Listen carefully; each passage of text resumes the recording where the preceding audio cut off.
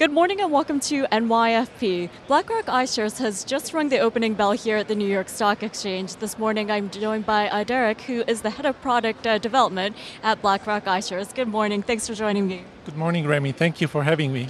Well, I know that uh, BlackRock iShares has just rung the opening bell, and this is in celebration of your launch of the HDV. Can you tell me how this differs from other your other high uh, dividend, um, your equity dividend funds, and some of the advantages?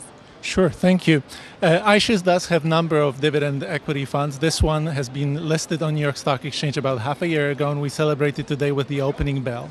HDV, the ticker of iShares High Equity Dividend Fund, is different from others in a way that it holds primarily mega companies, large companies that have been selected based on Morningstar Index, based on two main measures.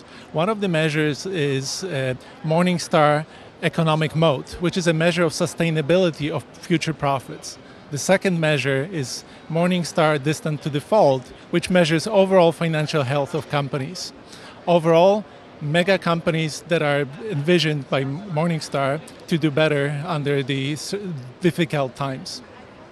I'm sure some uh, people in the viewing audience will be interested to know about your sector breakdown for the HDV. Could you tell us a little bit more about that? Sure. The, the primary sectors represented within HDV include healthcare, uh, consumer goods, utilities, and some telecom. Between those four sectors, it's more than 80% uh, representation. And since uh, HDV has been around for a little bit over half a year, what would you say about its performance? Well, as always, uh, investors should be cautious uh, and not look at past performance as a prediction of the future. But what I can say is that the at the end of quarter ended on September 30th, this fund had uh, roughly uh, six months of performance and was flat. This was flat during the period when investors saw a lot of volatility on most major indices, including S&P 500, had underperformed substantially. Okay, last but not least, before we wrap it up for today's interview, what would you say uh, differentiates uh, the HDV from other dividend equity funds? The main differentiator for HDV is that the Morningstar measures are forward looking.